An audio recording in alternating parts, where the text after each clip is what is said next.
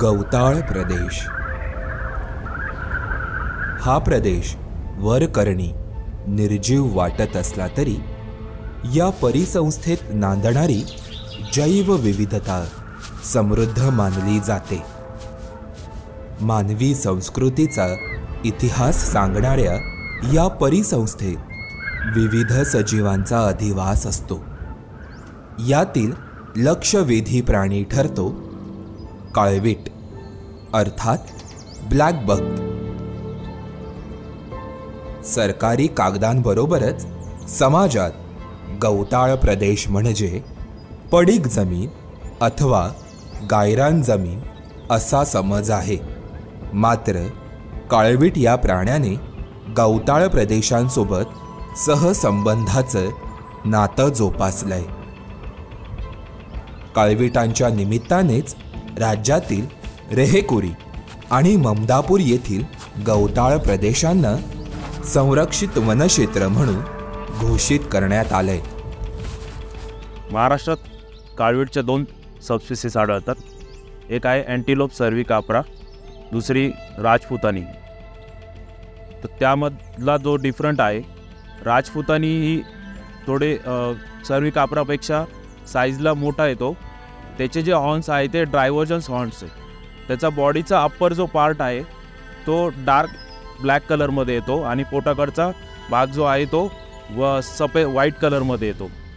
आणि सर्वी कापरा जो आहे तो राजपुतानीपेक्षा साईजला थोडा छोटा येतो. त्याचे जे हॉर्न्स आहेत ते वीस वी एपमध्ये येतात. आणि त्याचा पोटा पाठीकडचा जो भाग आहे तो डार्क ब्राऊन येत असतो. संस्कृतमध्ये काळविटाला कृष्ण मृग असं म्हणतात. मात्र काळवीट हा मृग म्हणजेच हरिण कुळातील प्राणी नसून त्याचा समावेश कुरंग कुळात होतो. भारतात कुरंगच्या पाच प्रजाती आढळतात.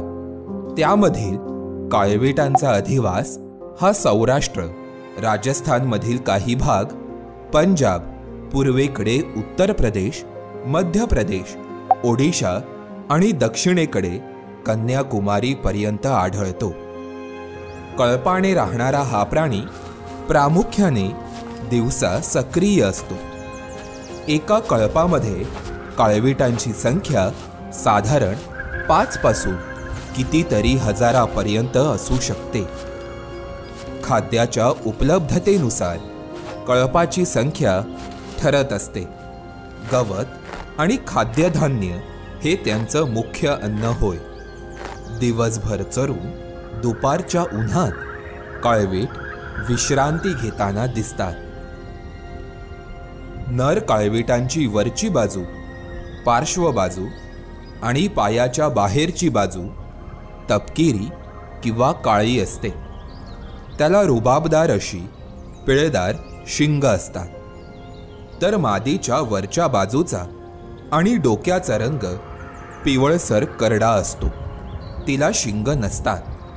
दोघांच्याही पायांची आतील बाजू आणि डोळ्याभोवतालचा भाग पांढरा असतो. दृष्टी अतिशय तीक्ष्ण असते. अँटीलोप आणि डिअरमधला डिफरंट मी तुम्हाला सांगतो. अँटीलोपचे जे हॉर्न्स असतात ते लाईफ टाईम असतात. त्यांची टेरिटोरियल फाईट झाल्यानंतर तुटल्यानंतर ते परत येत नाहीत.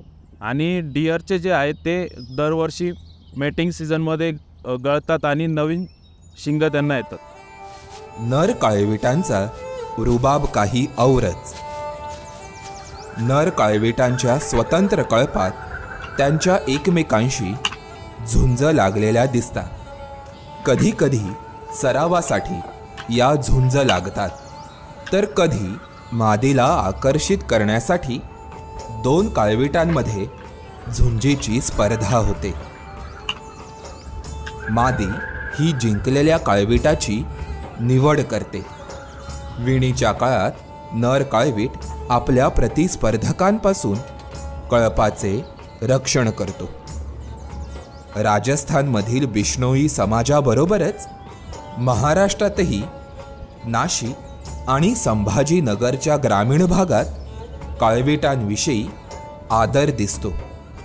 काळवीट म्हणजे त्याला एक मराठी भाषेतून हरण असं एक नाव ठेवलेलं आहे बा.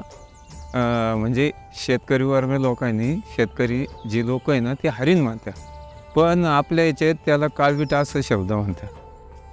फॉरेस्ट डिपार्टमेंटला. आणि ते शेतात जर आले तर त्याच्यापासून म्हणजे काही बा असं लाभ होतो. किंवा जसं आपण म्हणतो देवा धर्मामध्ये आपला पाऊल लागला व आपल्या घराला एखाद्या संताचा किंवा काही तर आपलं चांगलं होतं. असं हरिण म्हणजे एक हे आपलं काळवीट हे म्हणजे एक देवाच्या स्वरूपामधून शेतामध्ये आपल्या आलं म्हणजे त्याच्यातून चांगला लाभ होतो व आपल्या. भारतासारख्या मोसमी पावसाच्या हवामानात नैसर्गिक गवताळ प्रदेश फार कमी प्रमाणात आढळतात. राज्यात रेहेकुरी अभयारण्य आणि ममदापूर संवर्धन राखीव यांसारखी वनक्षेत्र ही काळविटांबरोबरच गवताळ प्रदेशांच्या संवर्धनासाठी संरक्षित करण्यात आलेत आहेत. नाशिक जिल्ह्यामधील येवला तालुक्यात ममदापूर संवर्धन राखीव वनक्षेत्र पसरलंय. चोपन्न चौरस किलोमीटर क्षेत्रावर पसरलेल्या या संवर्धन राखीव वनक्षेत्राची दोन हजार चौदा सालीच घोषणा झाली.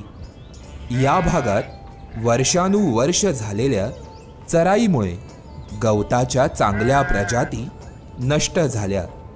त्यावर उपाय म्हणून वनविभागाने संवर्धन राखीव क्षेत्रात गवती कुरण विकास प्रकल्प आणि जल व मृदा संधारणाची कामं हाती घेतली. मामदापूर संवर्धन राखीमध्ये सहा प्रजाती गवताच्या सहा प्रजाती आढळतात. यामध्ये प्रामुख्याने ए, दोन ज्या गवत प्रजाती आहे डोंगरी आणि दशरथ हे काळीवटांच्या एकदम आवडते खाद्य आहे. डोंगरीमध्ये दोन प्रकार पडतात एक सफेद डोंगरी आणि एक लाल डोंगरी. लाल डोंगरी साधारणपणे दोन ते अडीच फूट वाढतो आणि सफेद डोंगरी हा पाच ते सहा फूट वाढतो. दोन नंबरला येतो दशरथ. दशरथ हे शेवरी वर्गातला असल्यामुळं ते काळविटांचं एकदम आवडतं खाद्य आहे. आता ममदापूर संवर्धन राखीव वनक्षेत्रातील अधिवास काळविटांसाठी अनुकूल झालाय. मात्र केवळ भारतीय उपखंडात अधिवास असणाऱ्या या प्राण्याला आपल्या अस्तित्वासाठी अनेक संकटांचा सामना करावा लागतोय.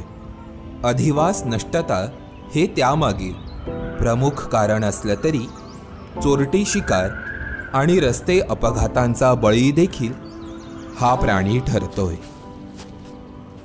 त्यामुळे काळविटांबरोबरच त्यांच्या अधिवासाचं संवर्धन करणं गरजेचं आहे. कारण गवताळ प्रदेश वाचला तरच काळवीट वाचेल.